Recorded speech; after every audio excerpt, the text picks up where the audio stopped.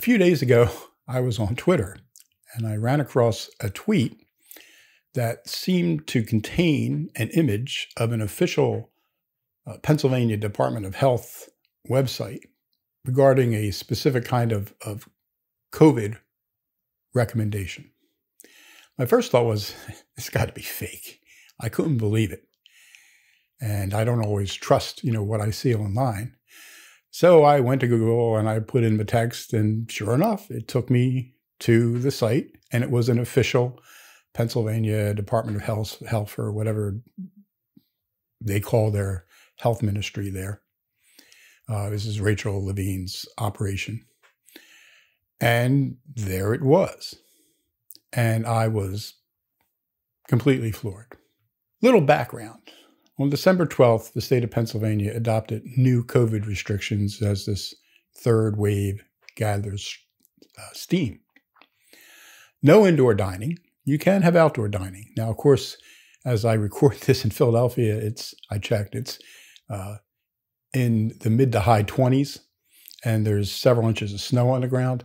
So I don't think people are going to be doing a lot of outdoor dining over the Christmas season uh, with weather below freezing. But who knows? I mean, Pennsylvanians are a hardy bunch. Maybe they'll still venture out and eat outside. Uh, theaters are closed, movies are closed, uh, uh, sports are restricted. Some sports are actually shut down at the, the lower levels of the school systems. Uh, churches are open, but that's because of a court case. They, if they could, they probably close them too. Gyms are closed. Uh, even though, according to the statistics, tracing statistics in New York State, they account for like 1.2% of COVID cases. Over 73% of COVID cases are picked up in your own home. But you know, gyms gyms are too dangerous. They have to be closed. So that's sort of the background of the current restrictions in Pennsylvania. And this brings us to this latest directive from Pennsylvania. And I'm going to read it because I don't want to be accused of getting anything wrong here. So just just stick with me here. Okay.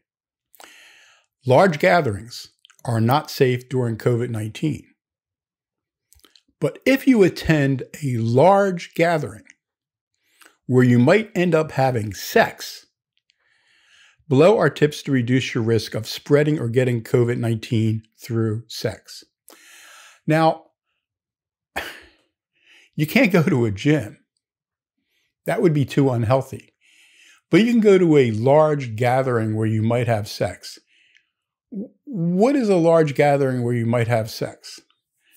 Uh, I guess you could say it's a party. Maybe you pick up somebody and you have sex there. I don't know. I guess that happens. I uh, I can think of times that happened when I was young, but I mean, you're not supposed to have large gatherings anyway. I think gatherings has to be under ten people. I don't know how they define large. They don't define large here. So if you have 11 people at a Christmas party, you're violating state law. There's no number given here for large gatherings where you may have sex. So I think the key here is if you're thinking about having a Christmas dinner, tell everybody to be prepared to have sex. Now, they don't have actually have to have sex. They only have to be prepared to have sex. I don't know what that means exactly. But to me, when I think large gathering where you might have sex, I think orgy. You know, a good old fashioned Roman style orgy. But that apparently is okay. You can't go to the gym. You can't go to the movies. You can't play, you know, high school football. But you can go to an orgy. That's okay.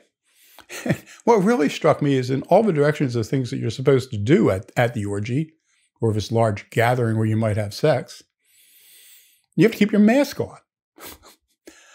I, you know, my guess is people who are going to large gatherings to have sex are by definition not particularly worried about the possibility of contracting disease.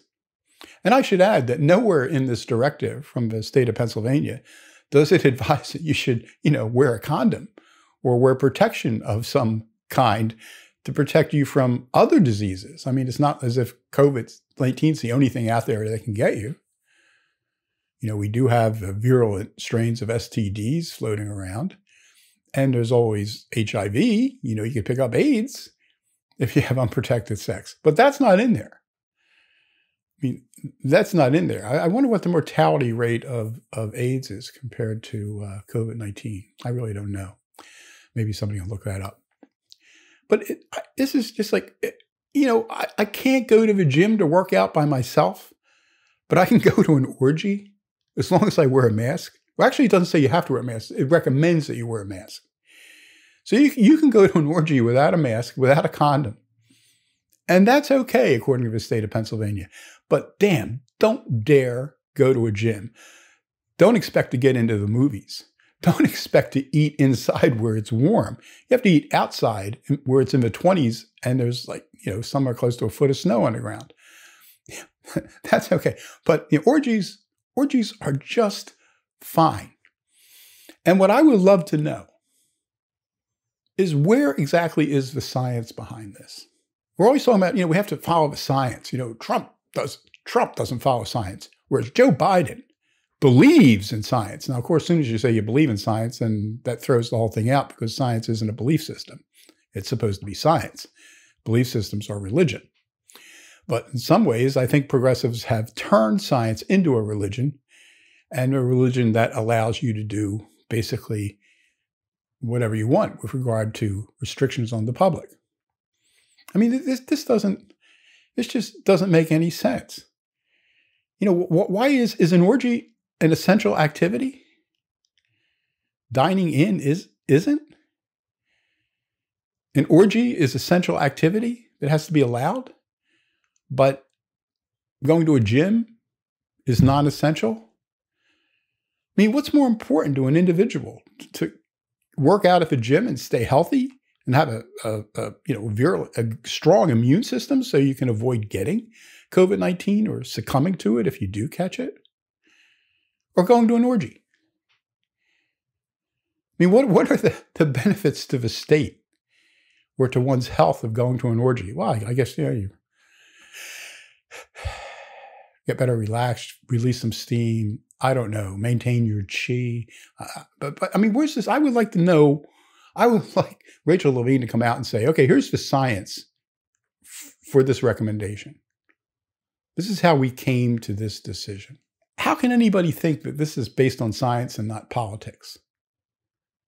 The politics of progressives. I mean, who goes to orgies?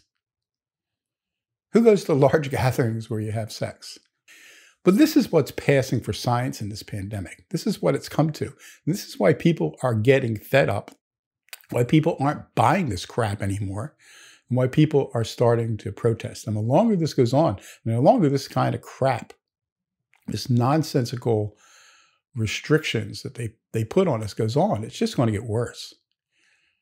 You know, people are, are going to just turn on government intellectually. Goes on long enough, with force.